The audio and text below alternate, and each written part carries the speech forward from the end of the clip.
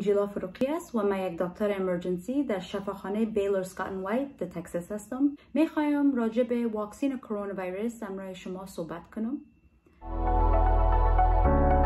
سوال اول که برتان جواب بتم او است آیا واکسین کرونا ویروس safe و بی خطر است یا نه؟ بله. واکسین کرونا ویروس safe و بدون خطر است و تاثیر مثبت داره. البته در امریکا تمام واکسین های کرونا ویروس که موجود است و تطبیق میشه همه واکسین ها توسط FDA یا Food and Drug Administration از نظر تاثیرات و به خطر بودن ثابت شده و قابل قبول است چقدر واکسین کرونا ویروس تاثیر داره؟ کسایی که واکسین کرونا ویروس می‌گیرن chance مریض شدنشان امرای مرض کرونا ویروس بسیار کم است و همچنان research نشان داده که کسایی که واکسین کرونا ویروس می‌گیرن واکسین تاثیرات مثبت در وجودشان پیدا می‌کنه که آنها دیگه به مرض کرونا ویروس دچار نشه عوارض جانبی واکسین کرونا ویروس چیست؟ واکسین کرونا ویروس شاید عوارض جانبی داشته باشد برای بعض مردم مثلا جاندردی، خستگی یا تو خفیف. همین تاثیرات منفی به منای عزیز که واکسین تاثیر مثبت داره و کمک می‌کنه وجودتان را که آماده دفاع از مقابل کرونا ویروس باشد.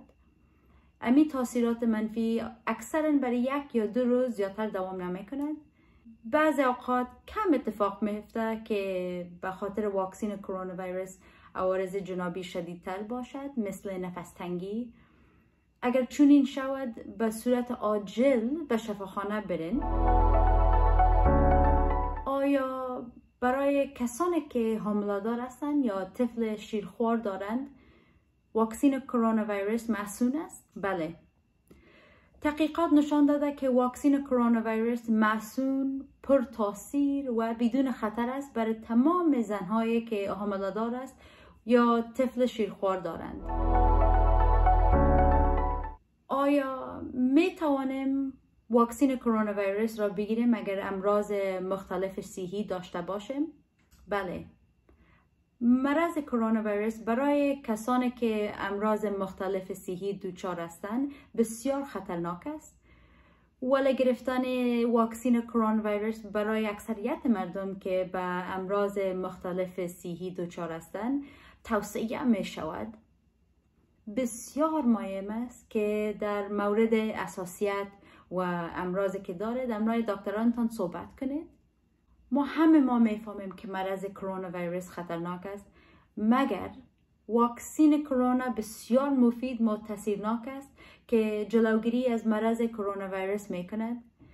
هر چقدر زودتر واکسین کنیم همان قدر می توانیم بدون خطر با فامیل و رفقا دیدار کنیم. بیاید همه واکسین کنیم هر چی زودتر بهتر.